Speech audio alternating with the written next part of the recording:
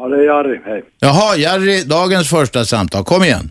Vi snackar bilar idag med Bosse Bildoktorn. tänkte höra så här, vad tycker Bosse om uh, antispinn och sånt där, uh, vad heter det, uh, broms, uh, ja, vad Ja. heter det? Jo, du menar antispinn, antisladd och ABS-bromsar kanske du menar?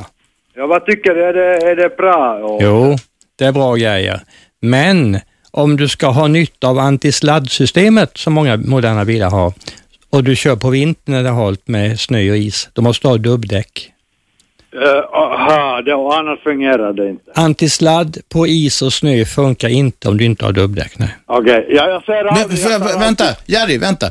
Måste jag fråga, det är ju för fan bara i Sverige och kanske i Norden som det finns dubbdäck. Ja, Och alla de här bilarna, tyska, franska, alla sådana bilar, de har det här, men det är meningslöst då menar Jo, du? kör du på eh, när det är hal asfalt så är det inga problem. Det, och nu kommer det en mycket viktig sak här. Att vi i Sverige har ju dubbdäck och det är mycket debatt om det där. Men tack vare det så har vi inte så hala sommarvägar.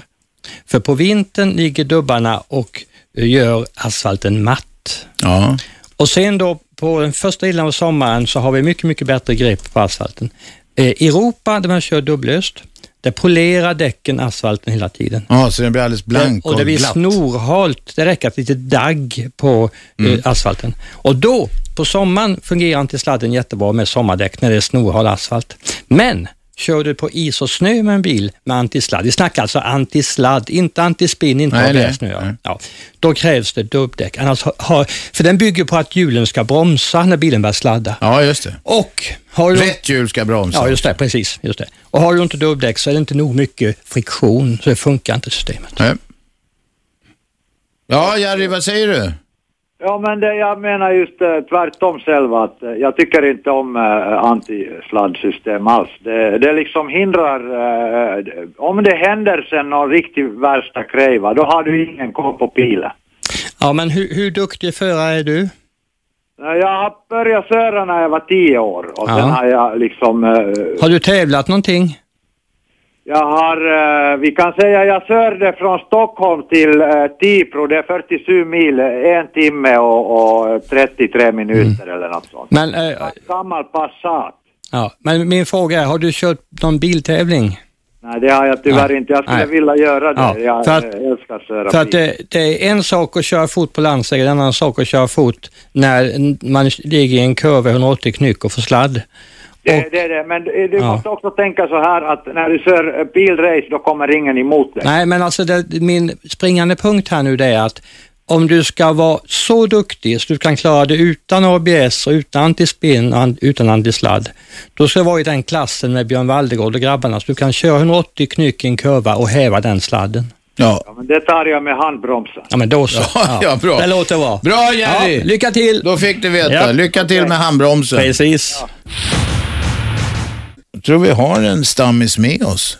Jerry, hörde du vad han sa killen här? Hallå? Hörde du vad han sa? Ja, lyssna på vad han sa men genom telefon, den är lite dålig. Han uh, snackar mycket. Ja. Men jag, jag har en uh, förundring uh, också över det här. Ni är jävla bra, Sappe och, och du, det, det måste jag säga. Det är professionellt, uh, du jävlas inte åt fel person. Nej. Eh, Jag har till exempel idag lyssnat på Cissi Wallin va, och jag måste säga att jag blir varje gång lika förvånad att hon eh, säger saker som att ni kan gärna ringa in här på det här numret. Och eh, hon svarar inte på en enda telefon på två timmar. Nej. Nej, Så nej. varför säger Vad vill, men du, om det var något du ville säga där då till henne. Säg det här och nu. Jag, jag, jag, har inget, hon är, hon är jättebra och så där, hon snackar så snabbt så liksom, eh, det är som en maskinkivär som vi säger. Jaha. Eh, Men eh, varför inte göra programmet lite intressantare? Folk... Ja, men hon gör det på sitt sätt. Fan, det här, vi kan tjata om det. Ja. Förlåt.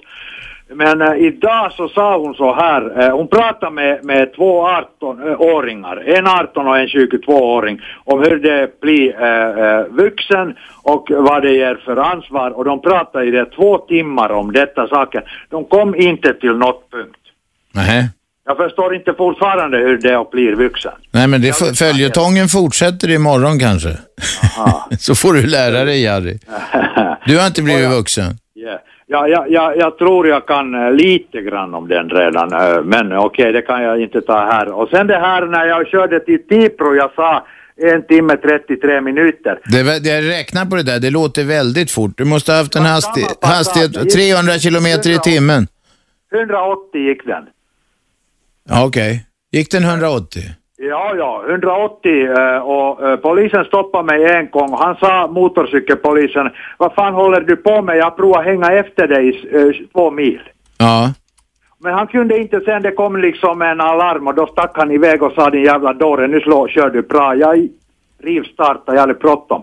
Jag kom till Tipro, det, jag skulle dit till Tipro. Ja. Litet ställe, du vet Tipro. Ja, ja.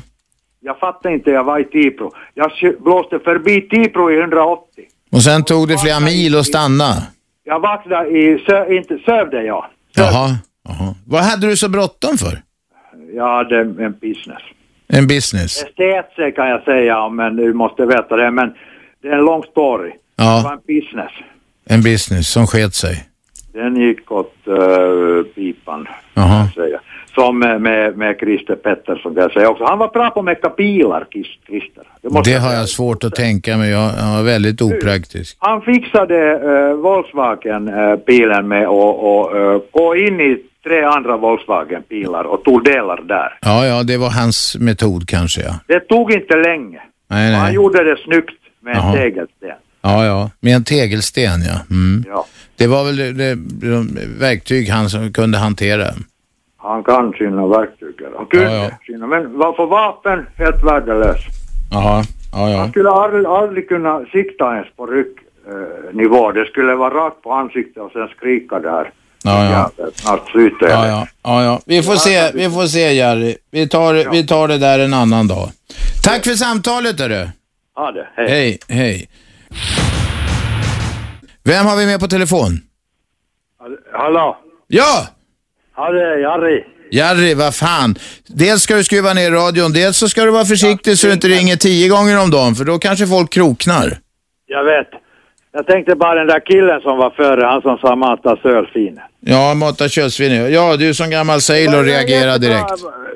Han, han blev, tror jag, misstrodd där för eh, han provade uh, bra sämt. Mm. Tycker synd om han. Ja, du tycker det var ett bra skämt? Jag tyckte det var, du vet, på sen skulle alla skrattat för den där sämten. Jaha.